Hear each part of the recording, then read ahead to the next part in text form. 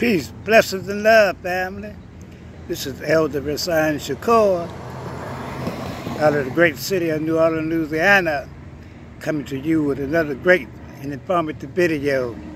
Peace, blessings, and love to all the melanated family and mankind. Well, family, this video is going to be, be about how blacks in New Orleans, not all blacks, because they got a lot of sisters on welfare. But this this video is going to be about the sisters that were smart and got them a good man, a good husband, and used the welfare system to buy them a house. That's right. Cause back then, they, they had people paying $2 a month, $20 a month, or whatever your, your income was. But the smart sisters got him a good man that was working and providing for his children. And sooner or later, they bought a house. I know a lot of people did that. I know a lot of people that my friends, you know, they people bought houses and they were living in the project. They stayed in the project about five years, ten years, making that money, ain't paying that much rent and took that money and bought a house. But you got a lot of these sisters today, look what they're doing with the welfare system. And the white folks know that's what they're doing, and they're going to get rid of them.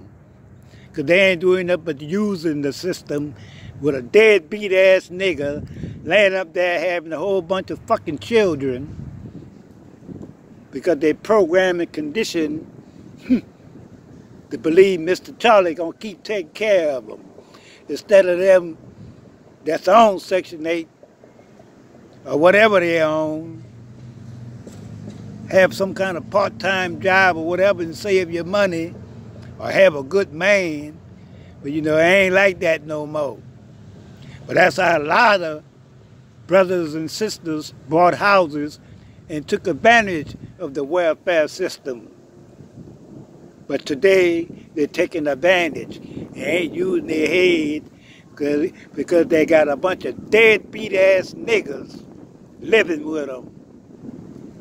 That's right, family. We're going to cut this video short. I just wanted to let the family know that you can use the system not only on welfare, a lot of other ways and get ahead it's just like education. You can take that education and create your own shit. That's right. You don't have to depend on Mr. Charlie or Miss Becky. But a lot of our people ain't using their head, you know. But that, that's just a little information that I wanted to share with the family. You know what smart black people do and take advantage of. Because when, when you got, when you're in a situation where you can take advantage of to make yourself a better person, you're supposed to do that. But they, a lot of them ain't doing it right now. and when it's all said and done, and Mr. Charlie cut off that shit, they gonna be in bad shape. Peace, blessings, and love to all the melanated family. Although listening at this video, please subscribe, put up the likes and shares, and stay tuned for the next video live stream. And I'm out.